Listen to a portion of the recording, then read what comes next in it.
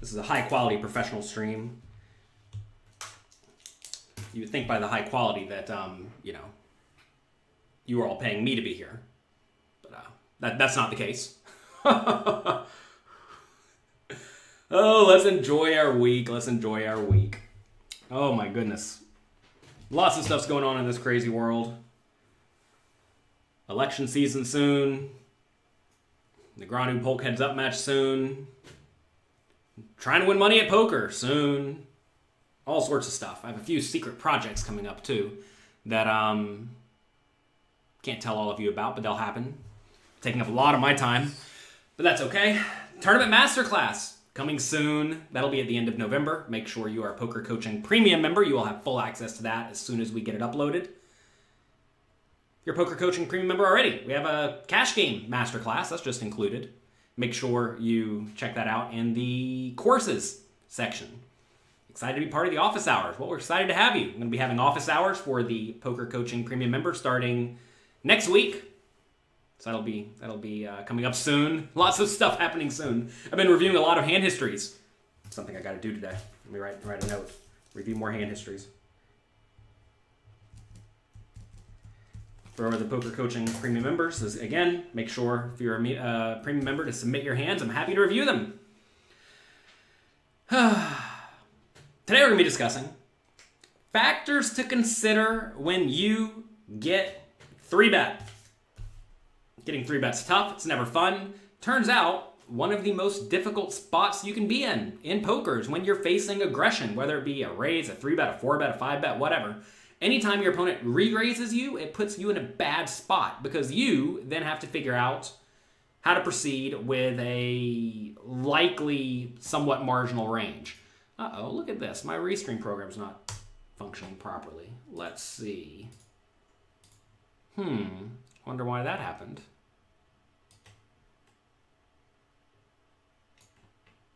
Let's see if this works. Eh, close enough. Sure, that'll work. Okay. Okay, okay, okay.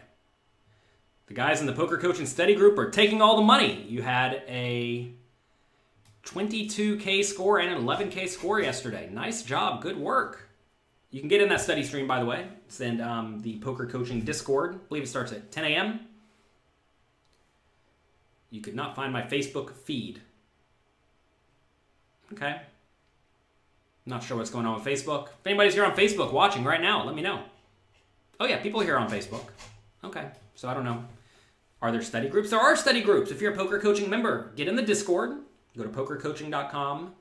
Go to the uh, community section, and you will find the study group there. It's ran by Louis Philippe right here. Louis Philippe, maybe you can give a little bit of info. That'll that'll be very helpful. All right, so today we're going to discuss factors to consider when you get three bets. Okay?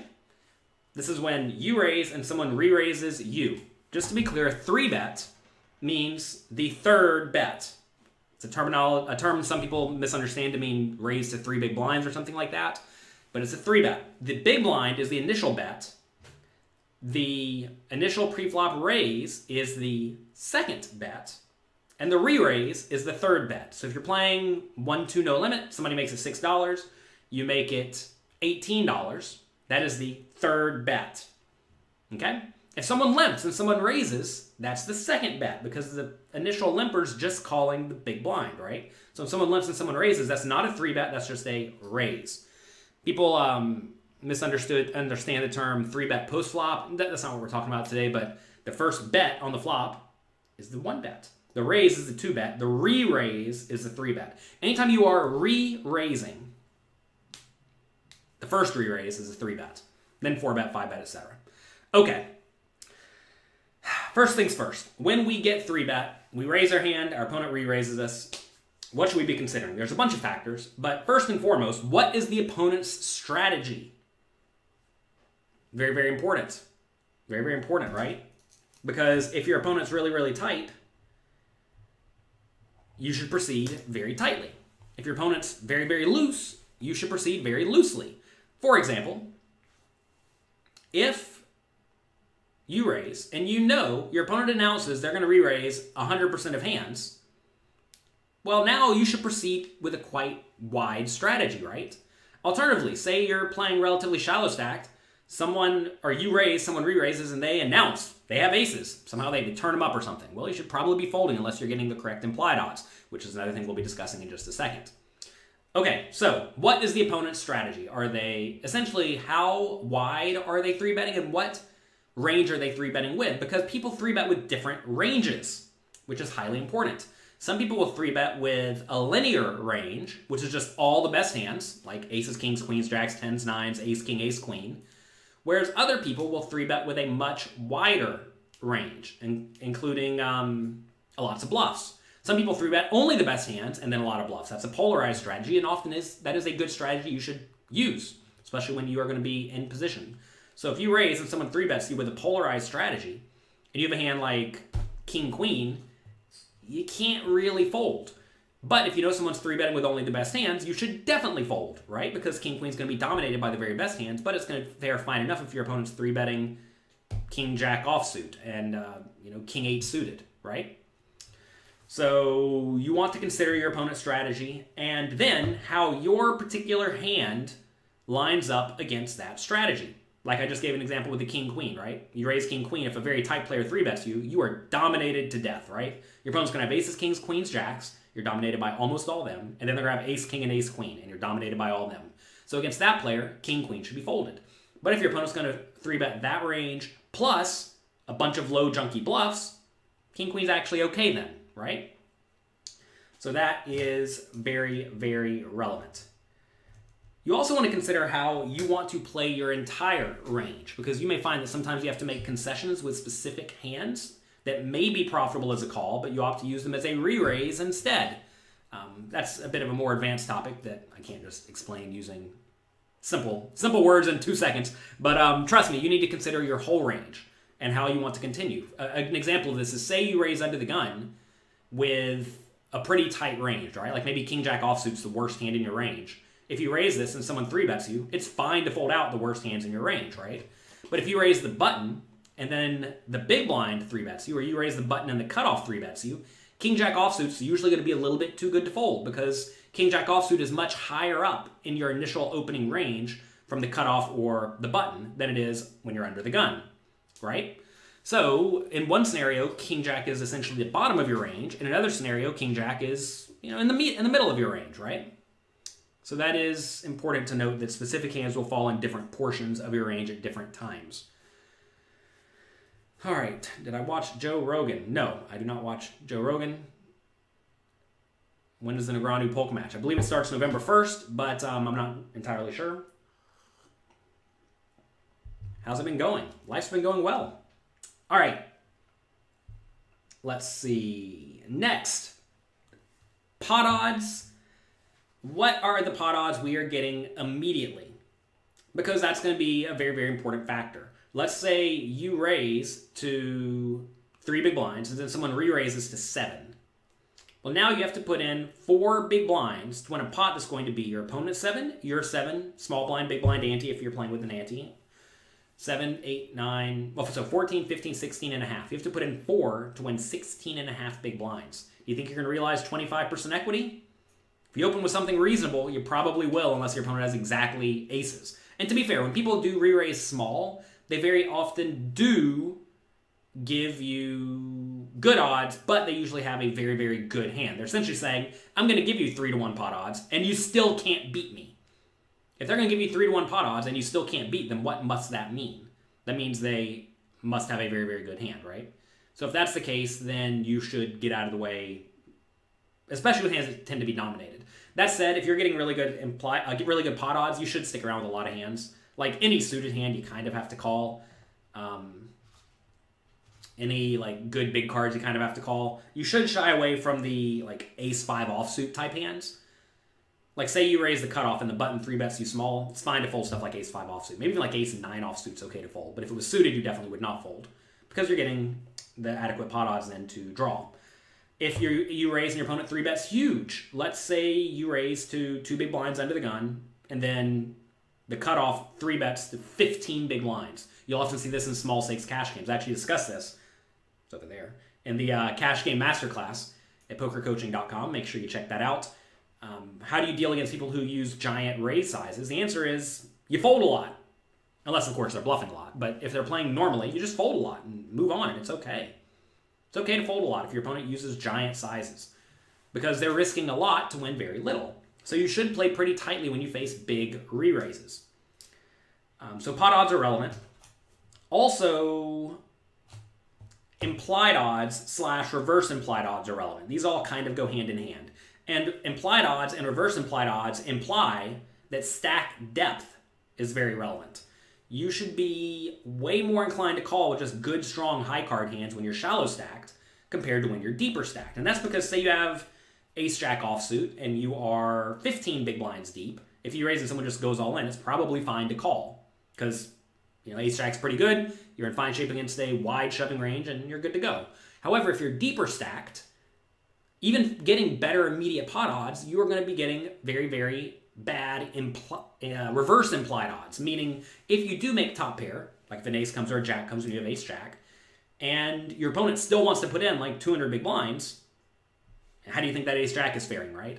And it turns out hands like ace jack offsuit and king jack offsuit very often make top pair bad kicker. Well, bad relative to your opponent's three bet value range, right?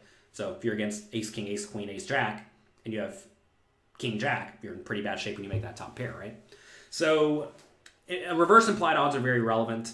Um, implied odds are also relevant though. A lot of people think that you need to be getting great implied odds with hands like suited connectors and small pairs. But in reality, you're not necessarily calling with these hands when you get 3 bet only to make a set. For example, if you raise with, let's say, pocket sevens and someone 3 bets you, you don't love the scenario, but you should still continue the vast majority of the time. And that's because sevens is going to win on its own merit, just with one pair some chunk of the time after the flop. And you have to be willing to stick around a little bit. You have to be a little bit um, call happy after the flop, especially when you're getting very, very good odds. Okay? So let's say you do raise sevens to two and a half big blinds, and the button three bets you to seven and a half big blinds, and you're playing 50 big blinds. Let's say you're playing 35 big blinds deep. This is a spot where folding is really not an option unless you go back to the first point we talked about today, your opponent's strategy. If your opponent is really, really, really, really tight and you know they have a really, really good hand, then I guess you can fold. But in a normal scenario, this is actually a spot to either call, looking to try to not fold this hand by the river unless the board comes out a bunch of high cards, or you want to raise all in, re-raise all in, because you expect your opponent to be bluffing uh, enough to give you fold equity, which is a, another point we're going to talk about in just a second. But essentially, stack depth is very important. You're going to find that specific hands play better at specific stack depths.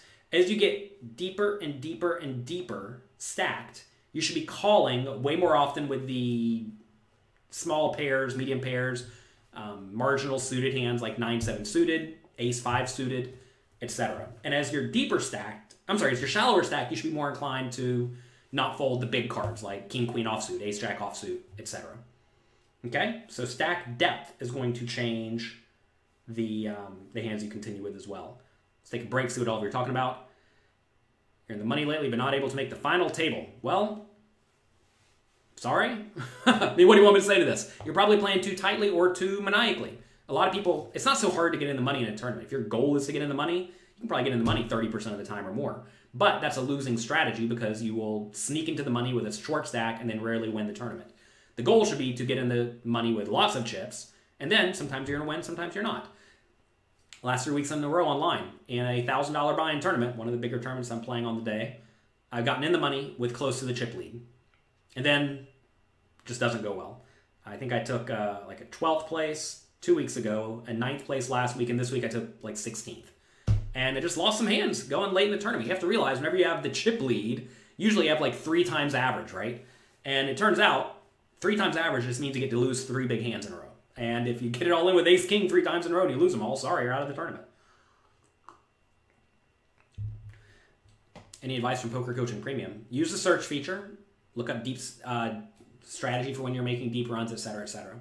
You got my latest book, Excelling at Tough No Limit Hold'em. I'm glad you all enjoyed it. If you all like my books, by the way, I would appreciate it if you spend a few minutes leaving a review on Amazon, Goodreads, wherever you bought it. I would appreciate that. That goes a long way to helping other people know that My books are useful.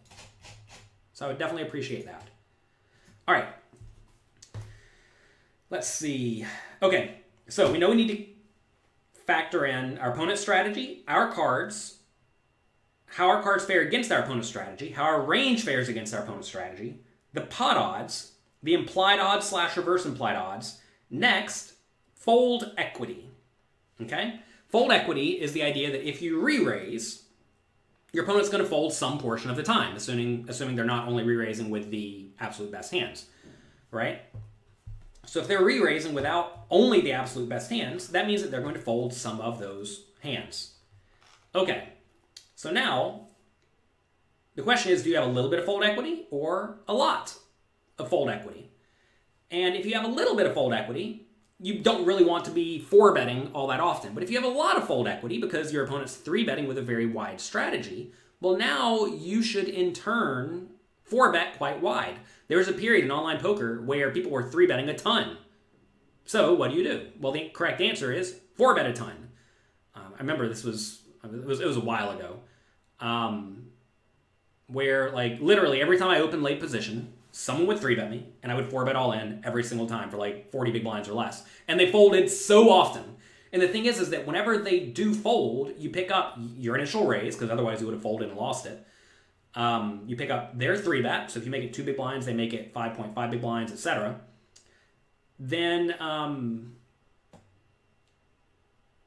and then when you jam, you pick up their 5.5, your two, small blind, big blind, ante, so that is uh, 5.5, 6.5, 7.5, 8, 9, 10. You pick up 10 big blinds whenever they fold.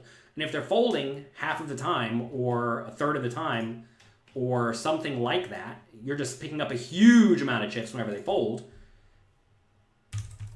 And whenever they call, you still win some portion of the time. I think that's what a lot of people don't quite fully recognize is they think that if they get it all in and they get called, they assume they just lose every single time.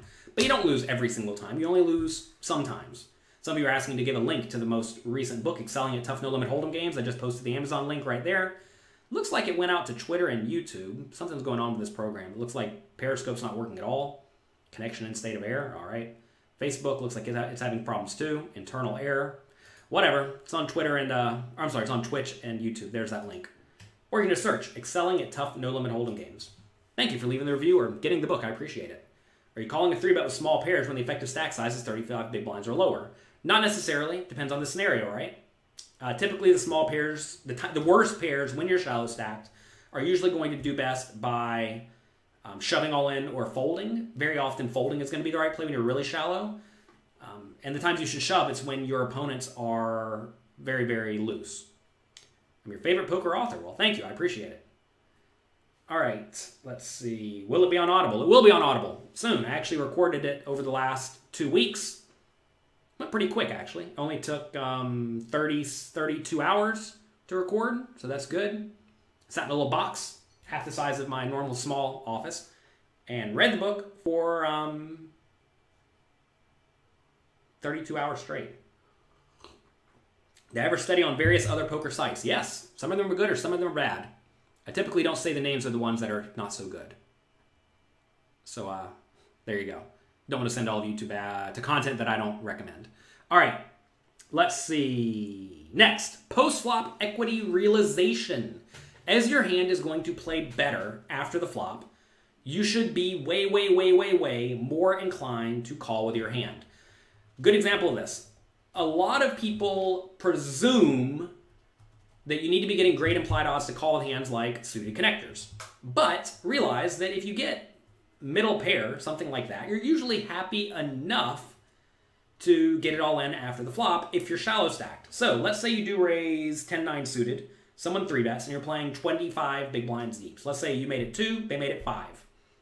You have to put in 3 to try to win a total of, well, do the math, right? You're 5, your opponent's 5, small blind, big blind ante, so 3 to win 12.5 are you going to realize 12.5% equity after the flop? I'm sorry, 25% equity after the flop. What am I saying? You're going to realize 25% equity after the flop. 3 divided by 12.5 is, uh, call it 25%.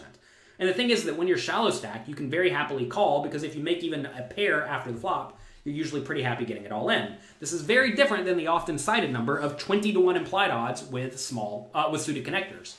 Because these implied odds numbers that a lot of people cite, myself included sometimes, imply that you always lose no money unless you make an effective nut hand, like a straight draw, flush draw, or set two pair, etc.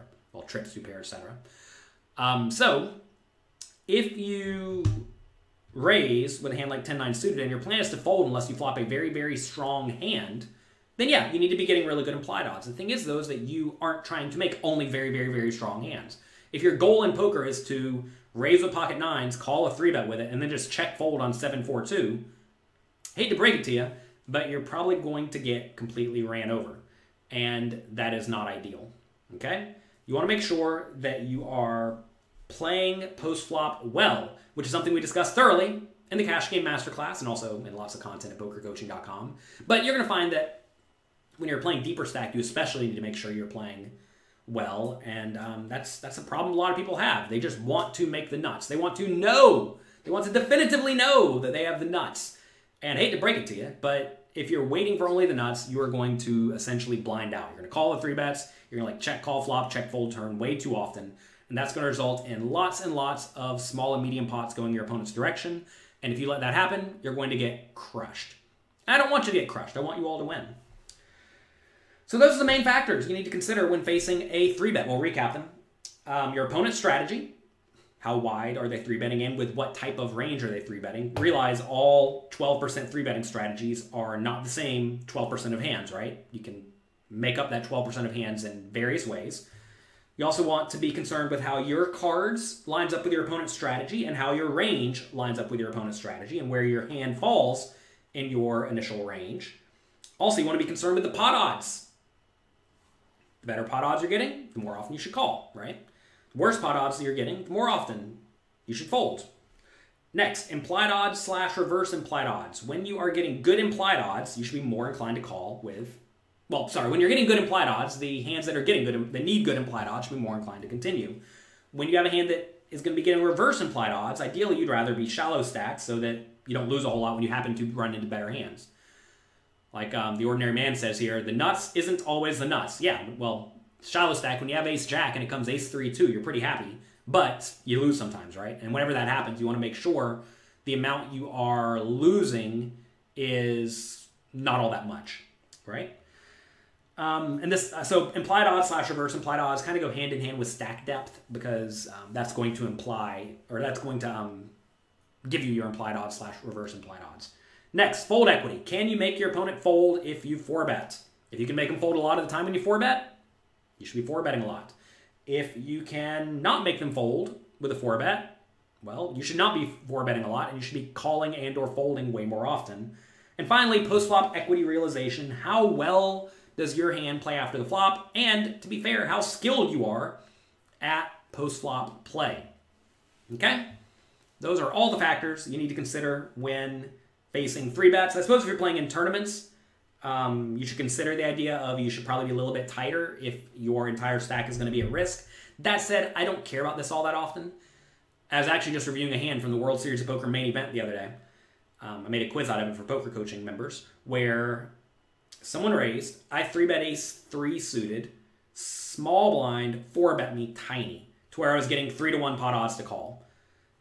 So it must have gone like two and a half big blinds. I made it like seven big blinds. They made it something like 14 or 15 big blinds. And I had something like 60 big blinds total. It's a pretty bad spot to be in, but, you know, I'm a sucker for good pot odds, right? That's a good example of a spot where my hand's not great against my opponent's range at all. I'm going to be super dominated. But I'm in position. I am getting amazing pot odds. We're getting, we're, we're going to be able to play post flop pretty well. I get a pair I'm putting my money in, right? Even if it's only a three. And um, that was it. So I actually flopped a pair and flush draw. My opponent bet. I jammed all in. They folded. Must have had ace king, right? Or some weird bluff like king queen or who knows what they had. But um, it's a spot where I was willing to splash around, even though my tournament life was likely to be at risk in this hand, because I was just getting amazing pot odds and I was in position, and my hand's going to play very easily after the flop. I'm not going to make a whole lot of call it errors after the flop where I'm folding the best hand because I know I'm not folding the best hand because the pot's already huge. Um, I will call off with the worst hand, but the thing is, when you're calling off with the worst hand, then you are getting good pot odds with like a pair with with a pair, right? Because you always have five outs to two pair. So that's the spot where I was willing to put it all in in the main event of the World Series of Poker with a junky pair, if that's what it came to. Um, interestingly enough, in that spot, say it comes like any board pretty much. If I get any flush draw, I'm also going to go all in. So if my opponent bets and I have any flush draw, I'm going to be jamming in that scenario. If your opponents don't fold, should you adjust your play? Of course you should. You should always adjust your strategy, to take advantage of whatever your opponents do incorrectly. If your opponents aren't going to fold to a re-raise, then only re-raise for value, right? Life's easy when you're when you know what your opponents do wrong. Tough thing about poker is very often you don't know what your opponents do wrong. 100 big blinds deep. What is a relatively high four bet frequency? Definitely need to be careful relying too much given generally small sample sizes. Um, Dylan, I honestly don't even know because it depends on your opponent's strategy, right? It heavily, heavily, heavily depends on your opponent's strategy. If your opponent's three betting a lot, you in turn can four bet a lot and call a lot. If your opponent's three betting really tight, you in turn should be folding a lot and calling with only implied odds hands. Um, so you really should be four betting almost none. So I'm, I'm always very hesitant to give out like like what should what like what should stats look like because it's all over the place. It's completely all over the place. How much does strategy change heads up? Heads up, you have to be way more inclined to call. Again, but it really doesn't change a ton. Realize when you get three bet pre-flop, you raised in position, you got three bet, so you're always going to be in position pre-flop and post-flop, and you're closing the action, which is nice as well. So you get to call versus three bets way more often in heads up pots than in other scenarios. And also ranges are ranges are going to be wider across the board. I mean, if your opponent's good, very often you raise, they're going to be three betting hands like Jack 5 offsuit as a bluff. They're three betting Jack 5 offsuit as a bluff, because they're three betting a polarized strategy perhaps, then you just can't really justify folding too often. Matt Affleck is streaming tonight from 5 p.m. till 11 p.m. Don't miss it. Awesome. Glad to hear it. 58 likes. Well, everyone doesn't like discussing dealing with three bets. They already know how to play against three bets. Great. to be fair, if you like the show, click like, click subscribe. I'd appreciate it. It's really easy to click the like button. Like, look, I've, I've made a bunch of clicks today. Just click like, click subscribe. It's not hard. Against the maniac that always raises and jams pretty light, or do we should we play tight or find another game? No, you should be happy to gamble. Why would you want to fold if your opponent's trying to give away their money? If your opponent's trying to give away their money, realize that their strategy is wide open, which in turn means you get to get it in wider. Like let's say you are playing 100 big blinds deep and you raise ace jack offsuit and you know the guy in the cutoff always goes all in with any two cards because he's insane. If your opponent's going to go all in with any two cards because they're insane, you should be happy to call off for 100 big blinds with ace jack offsuit. You should not fold and wait for a better spot because another better spot may not come around. If you raise with ace jack offsuit and a lunatic rips it all in, hate to break it to you, that's the spot where you should call if you know for a fact, like you say, they always jam it all in. Now, make sure they always jam it all in and not they make sure they don't jam it all in, you know, 10% of the time. So make sure you actually fully understand your opponent's strategy. But your goal is to play pots against people who are making errors and people who are raising and re-raising and going all in very, very frequently are making consistent errors on a regular basis. And if you don't get in there and exploit what they're doing wrong, somebody else will. All right, almost 70,000 subscribers on YouTube, Kevin says. Great. Let's get there. The goal is to get to 100,000 by the end of the year. I don't think we're going to make it but we'll get close. If you if somebody else has, I guess, uh, thirty thousand friends, will you tell them to go please click the subscribe button on my YouTube channel? What do you think you lack in poker if there is some something after winning so much? What do you mean by what do I lack? You mean in terms of accolades? I never really cared about accolades. What do I lack? I lack um, perfect fundamental understanding. I lack time to sit down and grind consistently on a regular basis. Um, lack amazing post flop reads. I, I, lack a lot as a poker player. Most people lack a lot as a poker player. In terms of accolades, I, like I said, I don't really care about accolades. They just don't matter all that much. Um, anyway, I don't know. I, I, I tend I, I don't I clarify the question. Everyone could always be better at something in poker, and that is why I surround myself with many of the absolute best players in the world. We mentioned my book earlier, Excelling at Tough No Limit Hold'em Games. Let me show you. Notice here, this is a collaborative effort. I worked with many of the absolute best online players in the world to make this book for you. Here we have Ape Styles, Jon Van Fleet. Literally, he might be the biggest winner in online tournaments.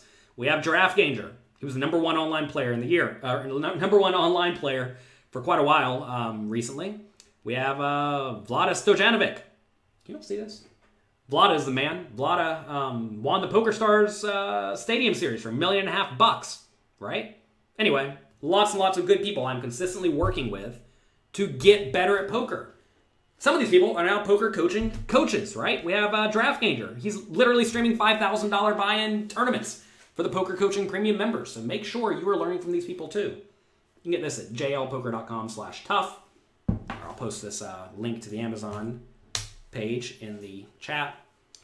Uh, but anyway, like that, that is what I'm doing to consistently work hard and improve. And at pokercoaching.com, if you all been paying attention, I've been hiring a decent number of coaches recently because I want to learn from them and better my skills. And I get to share it with all of you. So they're going to teach me, and I'm going to share it with all of you because uh, why not? We're a community. We might as well work hard to improve our skills.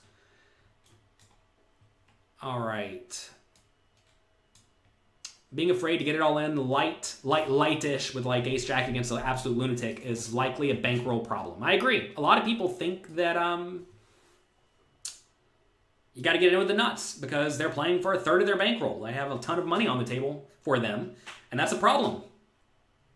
The higher the variance, you're going to experience the smaller chunk of the bankroll you should use. Sure, I completely agree. The thing is, is a lot of people make the gigantic blunder of being nowhere near bankrolled properly. And you have to make sure you're properly bankrolled. Check out my bankroll Bible at jlpoker.com slash bankroll. Type a link for all of you. There you go. All right. Oh, how do you join the study group? Um, go to pokercoaching.com, click on the community tab, get in the Discord, and you should see it there.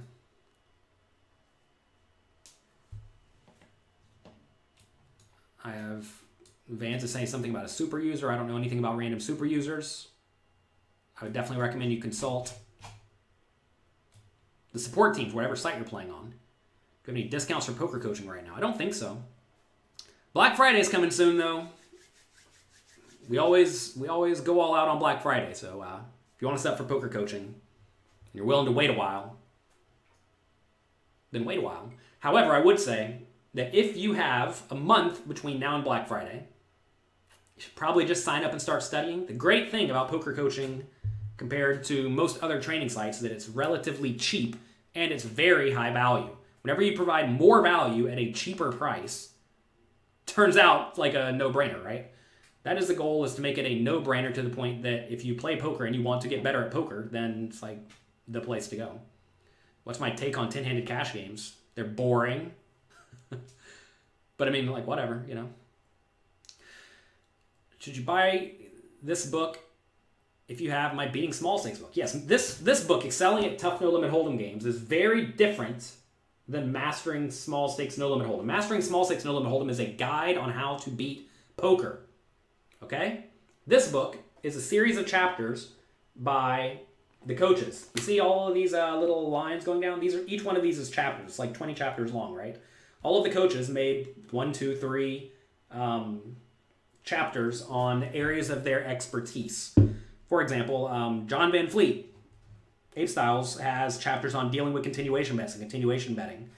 Uh, Vlada has a chapter on ICM that I learned a lot from. It was, it was amazing.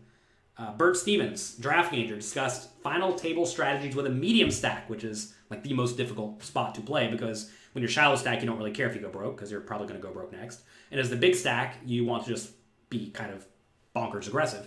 But the medium stack is where people have a very, very tough time. Do you prefer three? I prefer a three bet only strategy from early position against under the gun and under the gun plus one. Usually not. Um, there are certainly times, but usually not. How's the grind with the kids going? Kids are good. They're growing up. They're growing up fast. Children grow up quickly. Life marches forward. The year's almost over. I thought this was going to be the greatest year ever. Last year, I was like, oh, it's December. We're going to make 2020, the best year yet.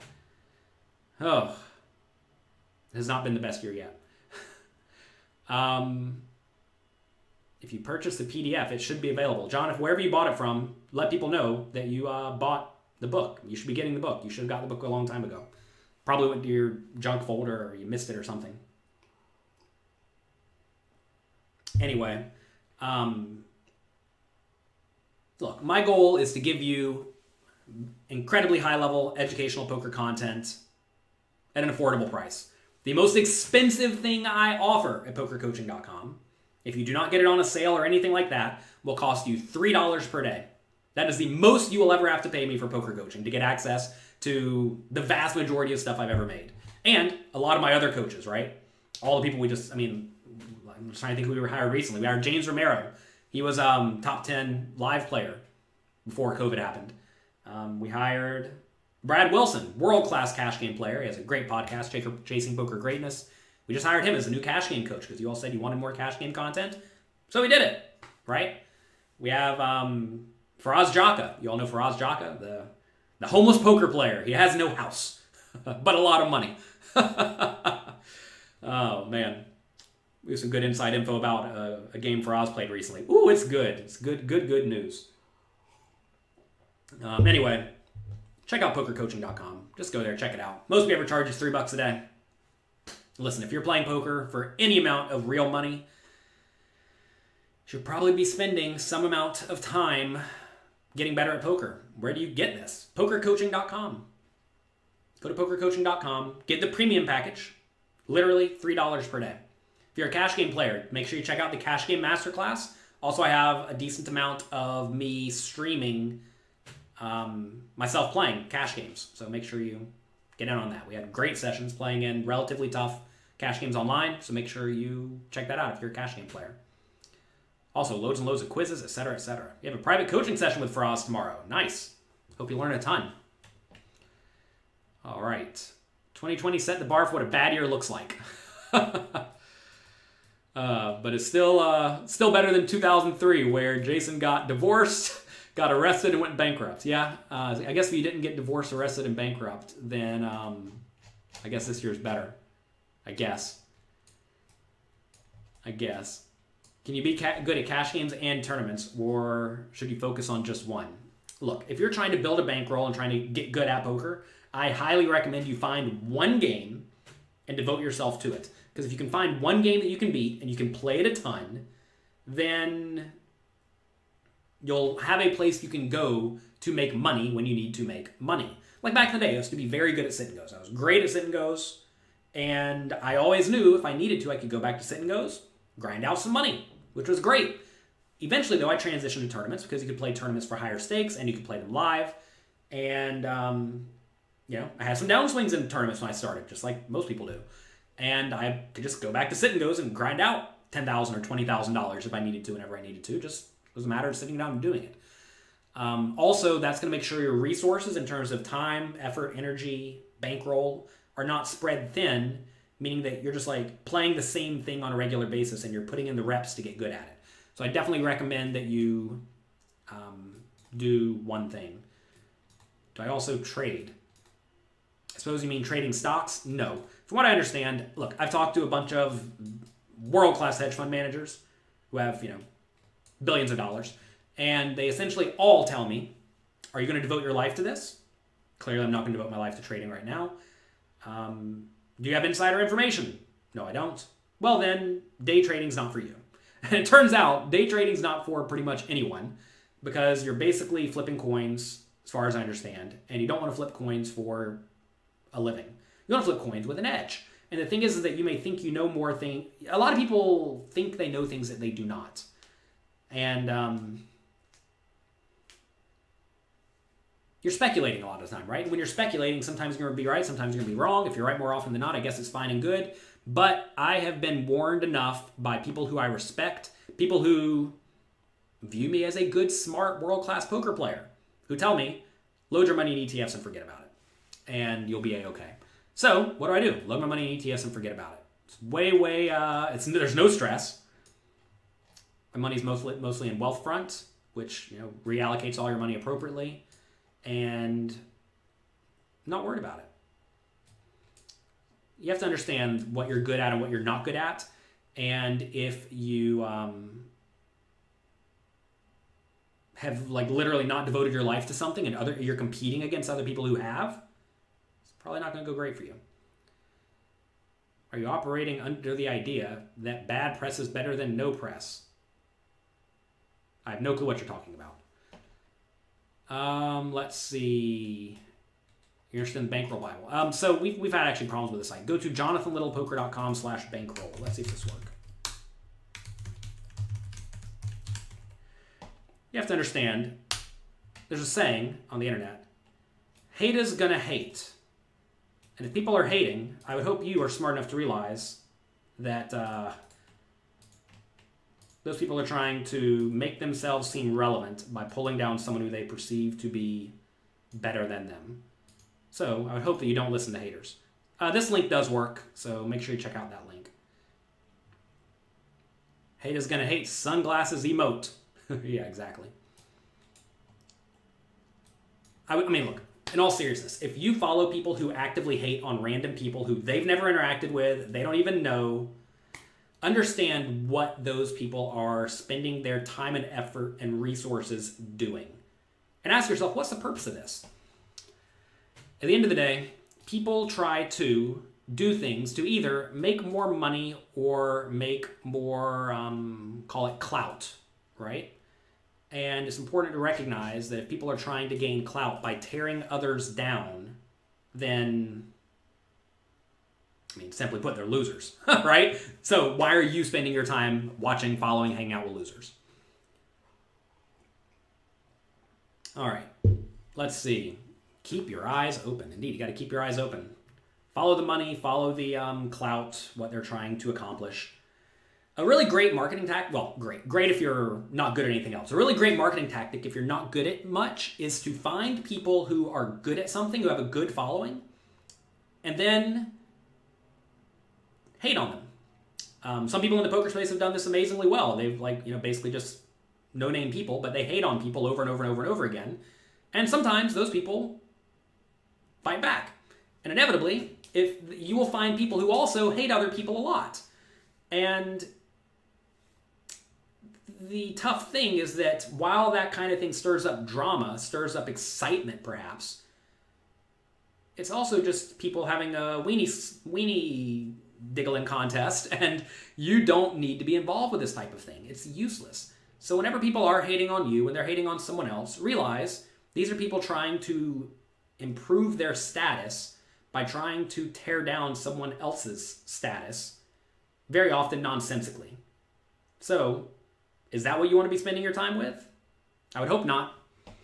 My friends with Mike Matusow and Phil Hellmuth, We're friendly. I don't think I've ever been out to dinner with any of them. But no, we're friendly. I have no problems with them as far as I can tell. Like Matusow goes off with a ridiculous political rant sometimes. Let's see.